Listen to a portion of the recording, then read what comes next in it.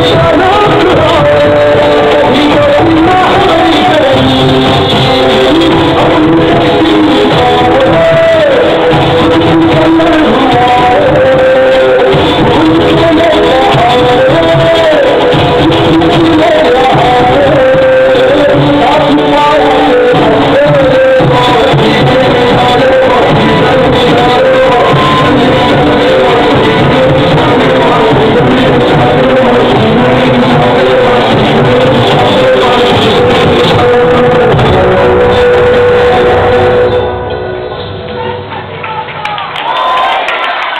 एक अच्छी परफॉर्मेंस इस मास्टर कलाकार के द्वारा।